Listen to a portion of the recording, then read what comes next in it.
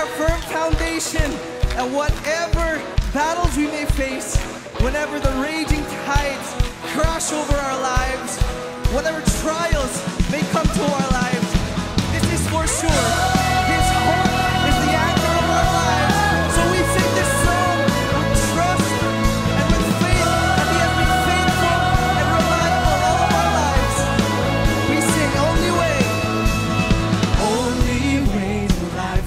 turn.